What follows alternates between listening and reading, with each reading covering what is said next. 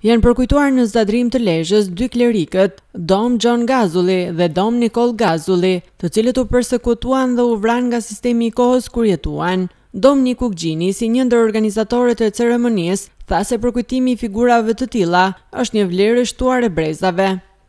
Prind të bahet një vend takimi, një vend bashkimi, një vend përkujtimi dhe ku në atë mënyrë heqet një pluhur i pllakosur me vite e me vite e me shekuj për Gazullorët e parë, që askush nuk e bani, por e ban Dajçi në bashkëpunim me priftin e zonës dhe me bamirësat e tjerë të cilët na ndihmuan pa kursyer. Dhe këtu përkujtojmë, sidomos sot kur flasim, dy figura të cilat janë po ashtu të rëndësishme për historinë tonë, Dom Gjon Gazulli, i cili i cili u nga Zogu në kohën e pushtimit ose në kohën e jo pushtimit, po në kohën e komunizmit ose sistemit monist te mbreti Zog ai qe varur në Shkodër në 5 mars të 1927 dhe gjithashtu përkujtojmë dhe Dom Nikoll Gazullin i cili gjithashtu për një sistem monist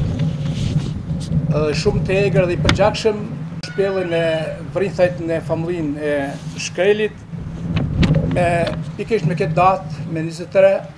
mars të vitit 1946. Nënkryetarja e bashkisë Eueda Molla dhe drejtori rajonal i arsimit, Hasan Muça, vlerësuan ndërmarrjen e iniciativave të këtij lloji.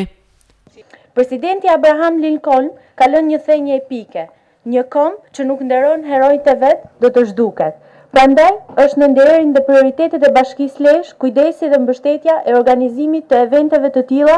që na bën krenarë jo vetëm Dioqezën e Sapës si organizatore të këtij eventi, por edhe komunitetin e mrekullueshëm të Dajçit, të mbarë Zadrimës, Lezhën si një prej vlerave të mëdha historike të kombit tonë. Qendra përkujtimore e kushtuar këtyre martirëve të kombit, Këtu në Dajç të Zadrimës është një monument mbarëkombëtar që simbolizon njerëzit më të shquar të Shqipërisë në shekuj, të cilët kushtuan jetën e tyre lirisë, përparimit të kombit dhe ne si bashki e si komunitet do vazhdojmë që t'i ruajmë në memorien tonë. Do t'i kujtojmë këto personalitete të kulturës dhe historisë së kombit duke e bërë pjesë të krenarisë dhe zhvillimit të Lezhës, Shqipërisë dhe mbarë trojeve tona. Këto dy figura nuk ishin thjesht vëllezër, Por ishin dhe shpiritra që përkasin të njëjtit binom të shenjtë fe dhe atdhe, i cili ka shoqëruar në shekuj identitetin kombëtar dhe fetar të shqiptarve. Të vlerësosh sot dy figura të tilla është sa obligim dhe krenari, por nga ana tjetër ndjen një dhimbje në brendësi të shpirtit, kur mendon se fundi tragjik i këtyre dy meteorve që nuk u shuan kurrë, po erdhi nga dy sisteme politike që drejtuan vendin tonë në periudha të ndryshme. A mund të dënohej një atdhetar si Gjon Gazulli, që shprehej, Të duash atdheun deri në flijimin për të, të shkrihesh për përparimin e tij? A mund të persekutohej dhe të ekzekutohej një ikonë e arsimit shqiptar si Gjon Gazulli,